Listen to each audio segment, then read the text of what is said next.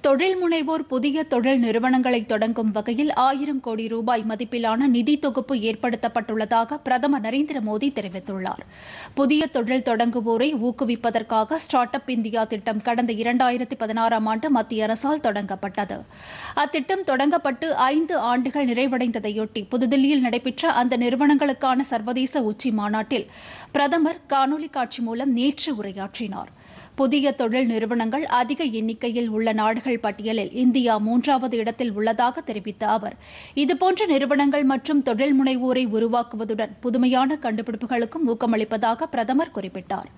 வேலைவாய்ப்புகளை உருவாக்குவதிலும் மக்களின் வாழ்வாதாரத்தை மேம்படுத்துவதிலும் புதிய தொழில் நிறுவனங்கள் முக்கிய பங்கு வகிப்பதாக கூறிய அவர் இந்த நிறுவனங்களுக்கு தொடக்க முதலீடுகளை அளிக்கும் வகையில் ஆயிரம் கோடி ரூபாய் மதிப்பிலான நிதி தொகுப்பு தொடங்கப்படும் என்றார்.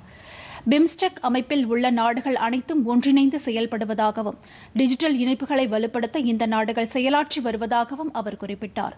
இந்த மிகப்பெரிய இயக்கம் தொடங்கப்பட்ட இதே நாளில் இந்த ஆண்டு மாபெரும் தடுப்பூசி இயக்கம் தொடங்கப்பட்டுள்ளதாகவும் பிரதமர் கூறினார். தற்போது நாடு முழுவதும் மொத்தம் நாற்பத்தி ஓராயிரம் ஸ்டார்ட் அப் நிறுவனங்கள் இருப்பதாக குறிப்பிட்ட அவர் தகவல் தொழில்நுட்பத்துறையில் ஐயாயிரத்து எழுநூறு ஸ்டார்ட் அப் நிறுவனங்களும் சுகாதார சேவைகள் துறையில் மூவாயிரத்து அறுநூறு ஸ்டார்ட் அப் நிறுவனங்களும் வேளாண் துறையில் துறையில் ஆயிரத்தி எழுநூறு ஸ்டார்ட் அப் நிறுவனங்களும் உள்ளதாக கூறினார் கொரோனா தொற்று பாதிப்பு காலத்தில் மக்களுக்கு சேவையாற்றுவதில் ஸ்டார்ட் அப் நிறுவனங்கள் முக்கிய பங்கு வகித்ததாகவும் அவர் குறிப்பிட்டார்